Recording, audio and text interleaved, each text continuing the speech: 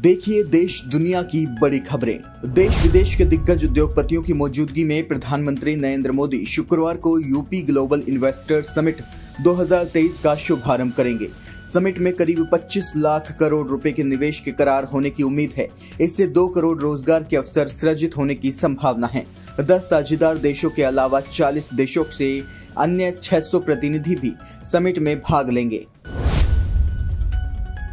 प्रधानमंत्री नरेंद्र मोदी शुक्रवार को मुंबई को एक साथ दो वंदे भारत एक्सप्रेस की सौगात देंगे। एक वंदे भारत मुंबई से साई नगर शिरनी और दूसरी मुंबई से सोलापुर के बीच चलेगी।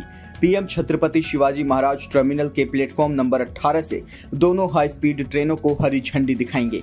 मुंबई से शिरनी के साई बाबा और मुंबई से पंढरपुर जाने वाले तीर्थयात्रियों के लिए ट्रेन वरदान साबित होगी। सुप्रीम कोर्ट उद्योगपति गौतम अडानी के कारोबारी समूह को लेकर हिंडनबर्ग रिसर्च रिपोर्ट की जाँच की मांग वाली याचिका पर शुक्रवार को सुनवाई करेगा। याचिका में रिपोर्ट की जाँच शीर्ष अदालत के एक सेवानिवृत्त न्यायाधीश की निगरानी में कराए जाने की मांग की गई है। बेरोजगार युवाओं के संभावित आंदोलन को देखते हुए जिला प्रशासन ने परेड ग्राउंड की 300 मीटर की परिधि में धारा 144 लगा दी है। यह शुक्रवार शाम तक जारी रहेगी। इस परिधि में पाँच या उससे अधिक लोगों के जमाव पर रोक रहेगी। इसका उल्लंघन करने वालों के खिलाफ मुकदमा दर्ज किया जाएगा।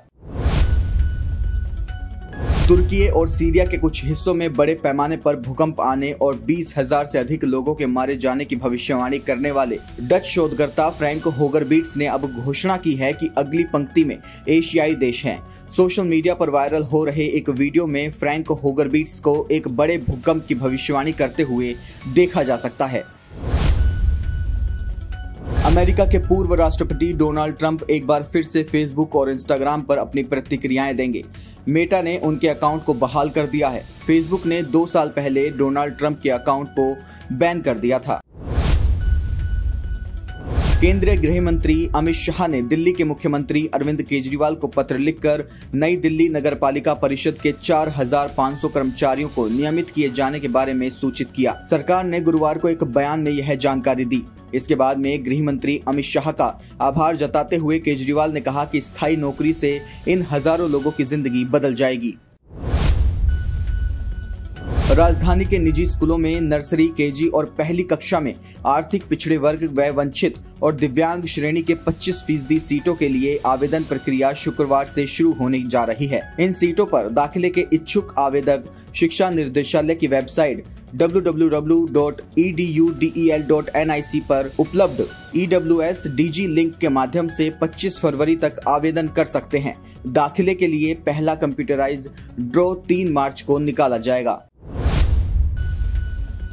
मुजफ्फरनगर में गन्ना मूल्य, बकाया भुगतान, आवारा पशु, बिजली की दरें और किसानों के उत्पीड़न समेत अन्य मुद्दों पर शुक्रवार को राजकीय इंटर कॉलेज के मैदान में भाकियू के महापंचायत होगी।